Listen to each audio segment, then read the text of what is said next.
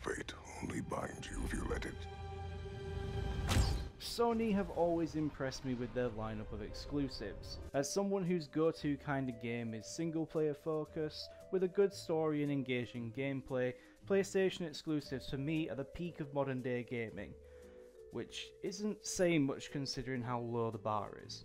I mean, I like them so much that I switched from Xbox to PlayStation, and since then I've played some incredible titles. From the playable horror movie Until Dawn to the rebooted God of War series to the quintessential goat of them all, Knack. Knack. I even liked Days Gone to a certain extent. But I will admit that there are some parts that are, well, uh, how do we say this? Uh, no good, very bad. Water, guns, you know, stuff like that.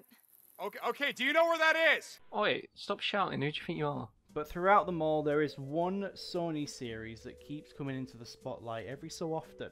A franchise that many might consider to be one of the greatest ever conceived The Last of Us. The Last of Us has become a name so well known that even people like my dad and sister, who have never played a video game besides Wii Sports, have heard of it.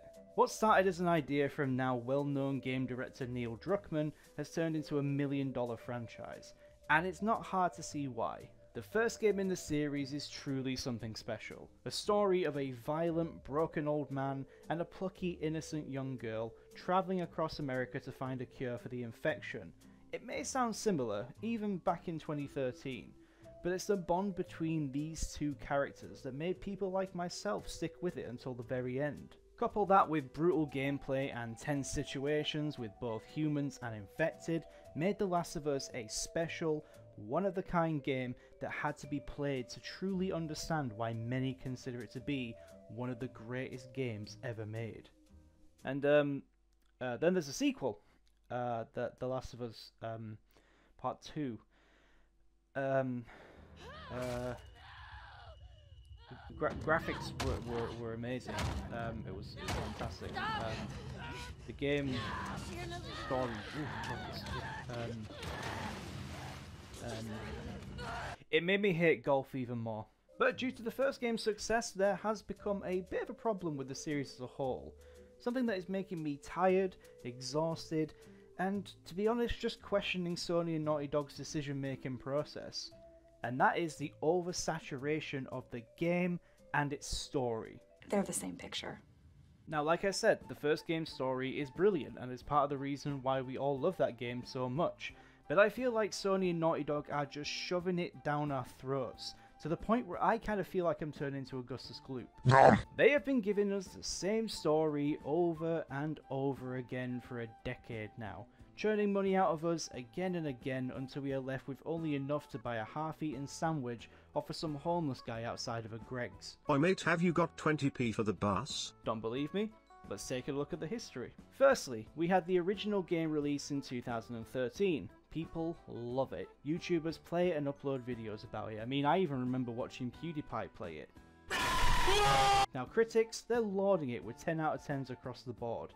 Everyone is happy. They've managed to create something great. Then PlayStation announced a remastered version with apparently better graphics. A whole year afterwards. Whether or not it has better graphics is up for debate. I mean, just go look at a comparison video and decide for yourself. But the fact that it had only been a whole year before Sony and Naughty Dog decided to take more money from us for practically the same game is appalling. And to make matters worse, there wasn't even an upgrade option for players who had bought the original PS3 game. Nor was there a backwards compatibility option because Sony refused to implement that into their consoles. But I mean, don't worry guys, there's a photo mode now. Then we have The Last of Us Part 1. A remake. I'm not going to go into the reasons why this remake is pointless, because loads of people have already made YouTube videos about it, or even articles, and let's be honest, it's pretty obvious it didn't need one. I mean, a blind person could tell you that. What irks me the most about this is that nothing has changed. Graphics aside, the gameplay is practically the same. You still crouch, stealth take down enemies, shoot people, get into fistfights and throw bricks. Has the story at least seen some add-ons or extra scenes to flesh some stuff out? No. Okay, fine. Well, how's the multiplayer? Oh, wait, my bad. They removed it. But why? Why would you do that? Why would you do any of that? I really feel bad for those people who liked factions. There's a hardcore fan base behind it, and right now you're being caught teased by the devs. So, okay, let me get this right. Sony and Naughty Dog want you to pay £70 or $70 to experience the same story, same gameplay, same music, same enemies, but now you can see Joel's individual beard hairs. Wow! One time is funny, two times is fucking annoying, no? Do you see what I mean? They are bleeding this game and its story with every chance they get, to the point where the sequels are either going to take a load of time to make or just not happen at all. Speaking of sequels, we did have one in the form of The Last of Us Part 2 in 2020. Despite whatever you may think of the story or the directing choices, you can't deny that this game still looks amazing. The detail in the characters' faces and the environments you explore are just so well done that it really makes you appreciate all of those long working hours that the hardworking everyday devs put into it. So, with that being said, why the absolute fuck is this game supposedly getting a remaster? According to a recent interview with Gustavo Santo, I'm not even going to try and pronounce his last name, he's apparently confirmed that a remaster of Part 2 is coming. And people are not happy about this. Gee, I wonder why. Could it possibly be that this game is just three years old and still looks beautiful? Could it be that a majority of gamers hated the story when they first played it and don't want to revisit it? Could it be that Naughty Dog's other franchises, like Jak and Daxter, have slowly been collecting dust for ages and they just refuse to make a new game? Or could it be that, like part 1, it's going to be 70 quid for a game that people have played already and is likely not going to have any new content? Well, actually, no, I'm so sorry, I do tell a lie. Now you can ask Gustavo to play you a song in the beginning. Wow!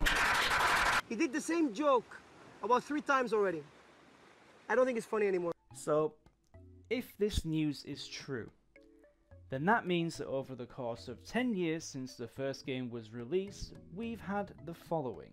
Two games in total. One that is lauded by everyone and their mums, and the other being the game equivalent of The Last Jedi. Then, not even a year later, we get a remaster of the first game, and in 2022 they create a remake of the first game.